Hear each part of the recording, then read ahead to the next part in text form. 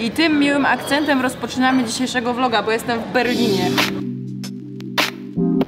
To jest currywurst, taki typowy berliński. E, tam, trochę widać, ale tak nie za bardzo. Salora, salora. Y, Zdobyłam już kubek, to kolejny do mojej kolekcji, 20 chyba, czy 19. Zabiorę go ze sobą do Chin, gdzie spędzi resztę życia w mojej szafce. Tym wyjątkowym, bo z Niemiec, vlogu pokażę Wam zatem, co zwiedziłam, co kupiłam i przede wszystkim co zjadłam tutaj w Berlinie, także zaczynajmy!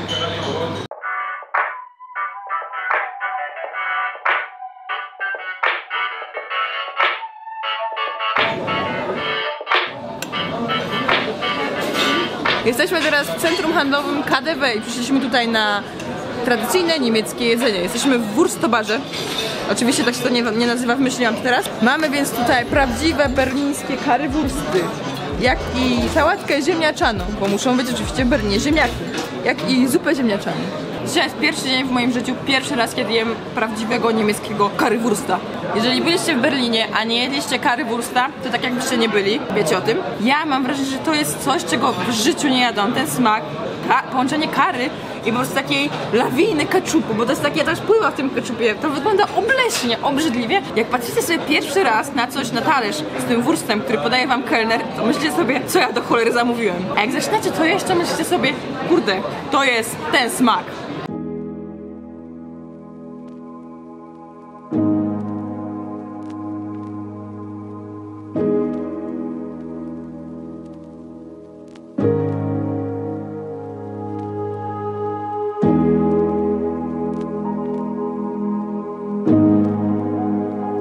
Tam za mną znajduje się to taka berlińska, bardzo, bardzo znana wieża telewizyjna przy placu Aleksanderplatz. Ona jest tam, ale musicie sobie ją zwizualizować, bo nie widać jej, jest za duża mgła. E, tam, trochę widać, ale tak nie za bardzo. Widzę, ej patrz, jak zbliżysz nawet te koło widać.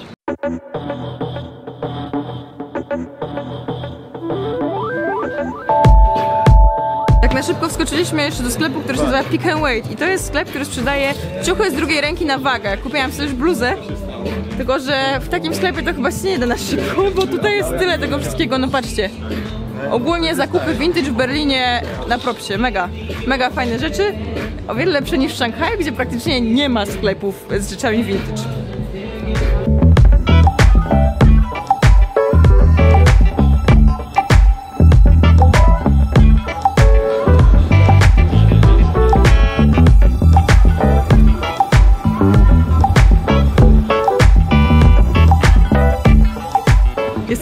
Wieczorem na Bundestagu, na kopule, bo to jest taka kopuła i można takimi krętymi ścieżkami wejść na samą górę.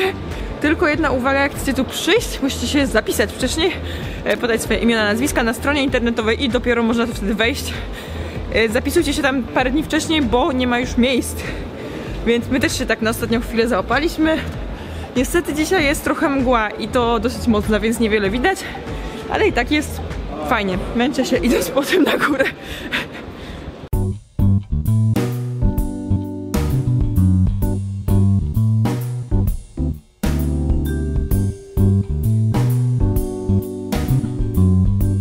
Jest już wieczór.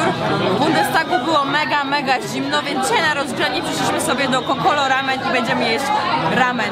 Ponoć jest to najlepszy ramen w Berlinie. Nie obrażajcie się, więc jemy japońskie żarcie w Niemczech. Czekaliśmy na to 15 do 20 minut. Kolejka wydawała się mega, mega długa, ale czekania nie było aż tyle, ile by się wydawało, bo ten lokal jest spory.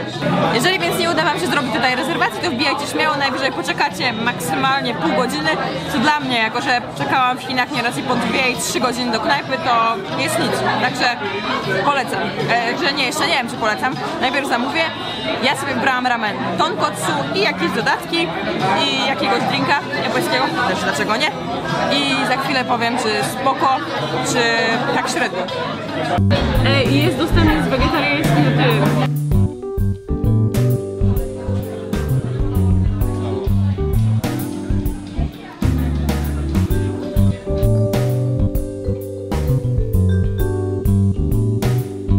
Jeżeli chodzi o ramen, to tak naprawdę ja nie jestem dobra w ocenianiu, który ramen był lepszy od którego i gdzie był najlepszy ramen, jak jadłam w życiu, ale jeżeli e, mogłabym ocenić ten ramen, e, biorąc pod uwagę moje wcześniejsze doświadczenia, czyli to, że zjadłam dużo ramenów w Szanghaju czy tam e, w Japonii.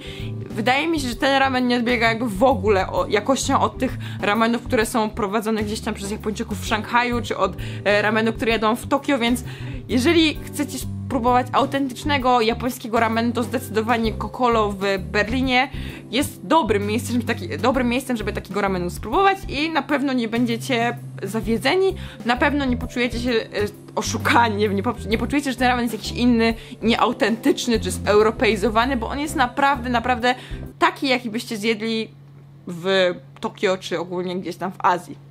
Nie wiem, czy zauważyliście w trakcie filmu, ale mam nowy nabytek i to jest nabytek od marki Saint Laurent. Saint Laurent. Y, To jest nabytek od marki Saint Laurent. Nie e, zrobię teraz taki na szybko unboxing. Ja też nie jestem jakąś osobą, która kocha luksusowe torebki i przeważnie mam po prostu jakąś jedną fajną torebkę, która i ta torebka była na mojej takiej liście, była takim moim małym marzeniem od jakiegoś czasu, więc zdecydowałam się na nią.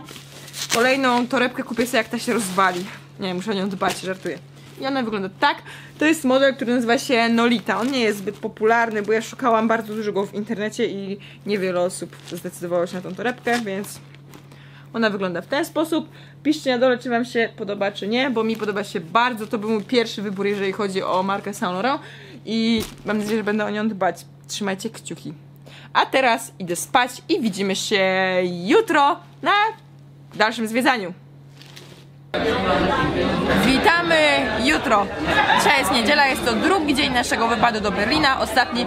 Dzisiaj wieczorem wracamy już do Poznania, ale rano, bo jako, że jest rano, będziemy jeść jeszcze śniadanie. Czekają nas jeszcze prawdopodobnie dwa posiłki w Berlinie. To jest pierwszy z nich.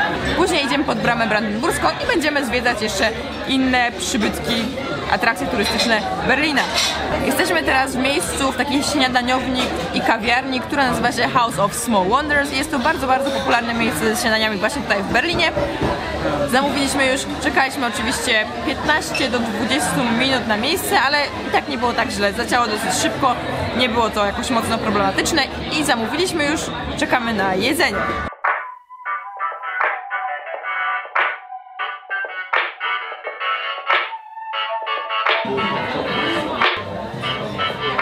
My już zjedliśmy, ja schodzę na takimi fajnymi, krętymi schodami, z których znana jest właśnie ta knajpka. E, były ok, bardzo dobre, tylko że nie są to jakieś wymysły ogólnie, raczej klasyczne śniadania, ale bardzo ładne zdjęcia można sobie tutaj porobić. Tylko jest kolejka, no niestety trzeba czekać, my czekaliśmy, tak jak mówiłam, 20 minut, ale teraz chyba już jest trochę dłuższa kolejka, bo zobaczcie co się dzieje. Bardzo dużo ludzi czeka tutaj na dole na miejsce.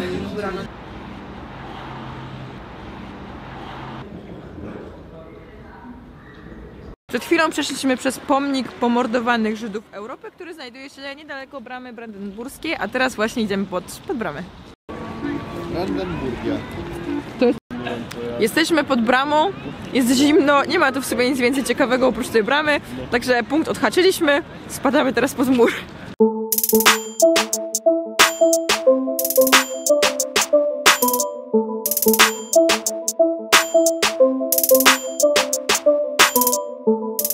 Koszulka będzie moja. Udało się, jesteśmy już pod murem tutaj. Jesteśmy właśnie po wschodniej stronie muru, po wschodniej stronie muru jest dużo fajnych graffiti, po zachodniej stronie muru też jest graffiti, ale nie jest takie fajne, jest takie zwyczajne. A tutaj mamy takie rysunki, malunki, które coś przedstawiają i coś symbolizują.